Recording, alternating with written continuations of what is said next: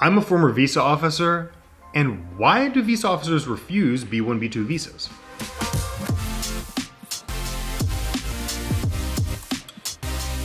Well, the most common way that a B1, B2 visa is getting refused is under the clause 214B.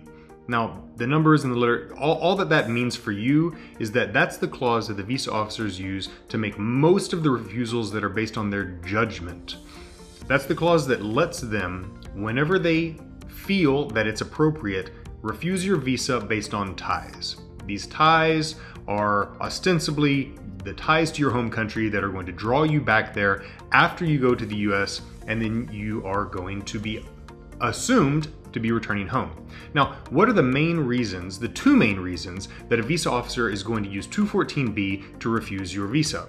The first reason is because they simply they don't believe you. They don't believe that you're telling them the truth. If the visa officer doesn't trust you, the visa officer is not going to issue you your visa. No matter what you tell them, the visa officer has to trust you. They're very suspicious, and the reason they're suspicious is because there are many visa applicants who go into the visa interview and they are misled by agents or they have uh, they have bad intent and they lie to the visa officer.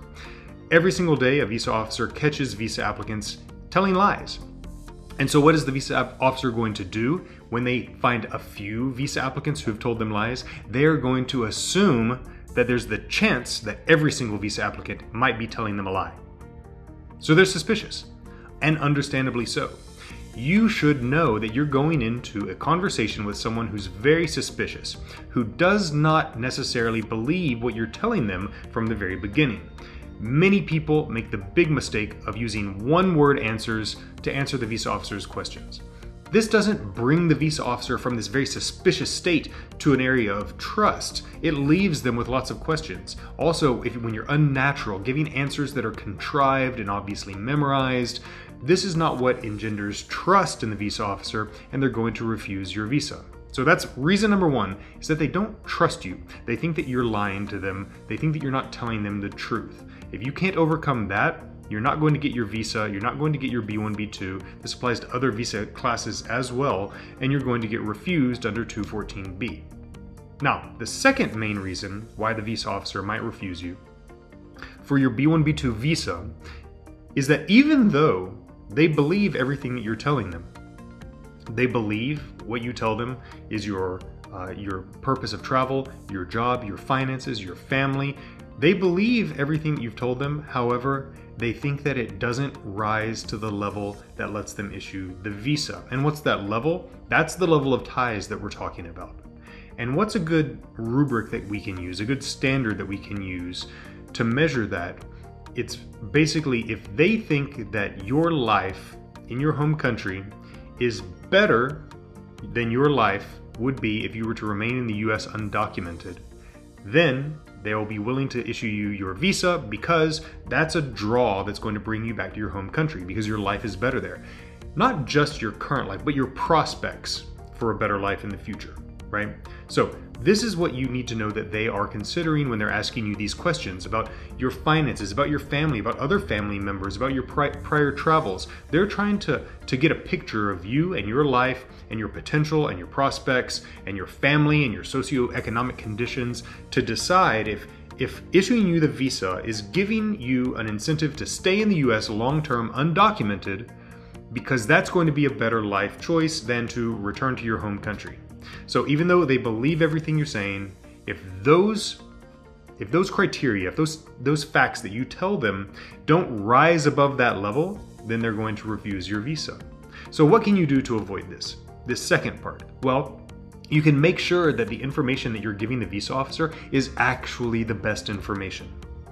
So many applicants have one bank account that's separate for some reason, or just one parent's bank account. And when they're asked for a statement, they show that one because it shows the bare minimum amount of funds uh, that are going to pay for this trip to the US. No, no, no, no, no, no, no.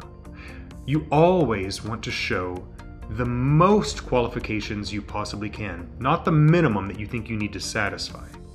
If you're applying for a student visa, this this definitely applies to your tuition. You don't want one bank account that you've set up in America with the exact amount of the tuition that you're going to be paying. No, you want to show the full breadth of you and your family's financial resources.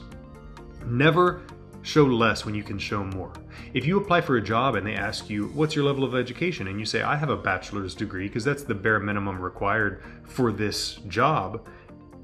But you have a master's degree as well. What you're selling yourself short. You're not giving the the most impressive part of your credentials. You're you're only sticking to the bare minimum. Okay.